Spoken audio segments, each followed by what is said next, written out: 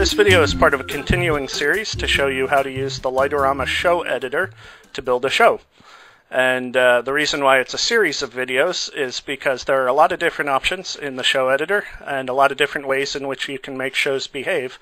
So each video is going to build on the last one a little bit more to add another feature to the show that we've been building. So let's open up the the show that we built in previous videos. Here it is. And um, if you'll remember, we have in this show sequences in the animation section and sequences in the musical section. Now, I said in previous videos that um, the animation and the musical sections will start up immediately when your show starts up, and they'll stop when your show ends. And that was kind of true, but it's not totally true. It's true for this show as I've built it, but it's not true in general, and you'll see why in this video. In this video, we're going to discuss the startup and shutdown sections of the show. And you'll see I don't have any sequences in either of these sections right now. Uh, so they don't; those sections don't do anything in this show.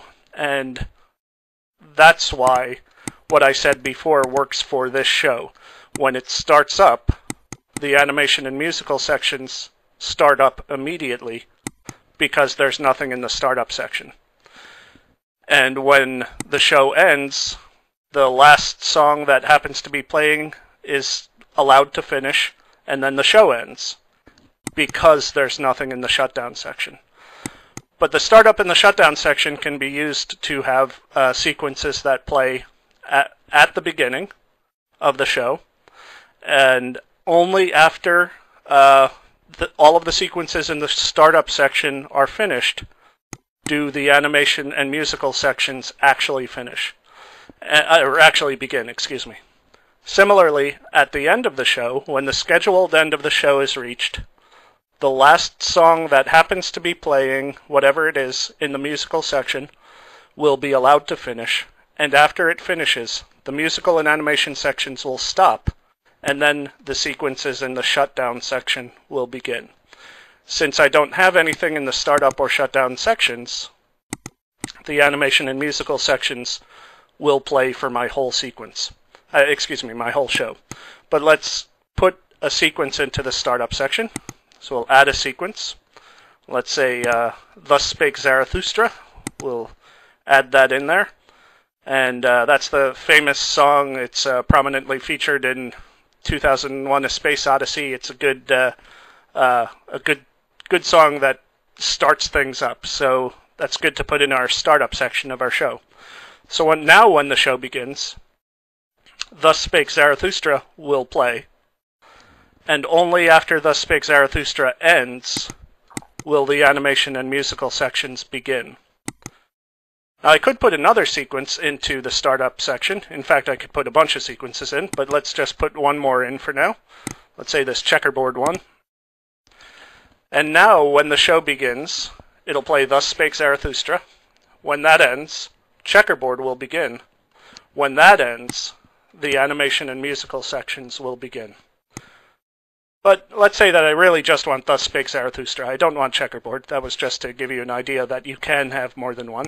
But for now, I, I don't really want checkerboard, so I'll click on it and click the minus button, and that removes checkerboard from the startup section of the show. Now, similarly, um, when the show reaches its scheduled end, uh, earlier I said that the, the sequence that's currently playing in the musical section will be allowed to finish, and then the show will end. But really what happens is that sequence is allowed to finish, and then the shutdown section starts. So if I add a sequence to here, let's say thanks, this will play after the animation and musical sections end.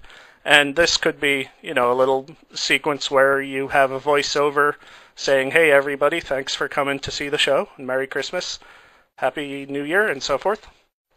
And um, now, let's save our show, now that we've made changes, and just review one last time what'll happen when the show plays. When it starts up, the startup section begins, and it plays through the songs in the startup section one at a time. In this case, we only have one sequence, so it'll play this sequence. After this sequence begins, the animation and musical sections both start, and eventually uh, we reach the scheduled end of the show, at which point the final sequence that happens to be playing from the musical section will be allowed to end. When that ends, whatever's playing in the animation section also ends. And after these sections stop, then the shutdown section begins. In this case, we have one song or uh, one sequence in the shutdown section, so it will play. And when it finishes, that's when the show is really over. So I think that's it for this video. I hope this helps.